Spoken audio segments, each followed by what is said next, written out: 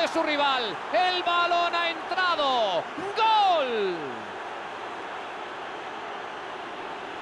Consiguen volver a marcar en cuestión de minutos. ¡Qué sutileza, qué elegancia, qué definición! Bueno, seguro que os preguntáis, ¿podría haber disparado de fuera del área? Pues sí, podría haberlo hecho, pero decidió entrar hasta la cocina y llegado ahí, marcó un golazo.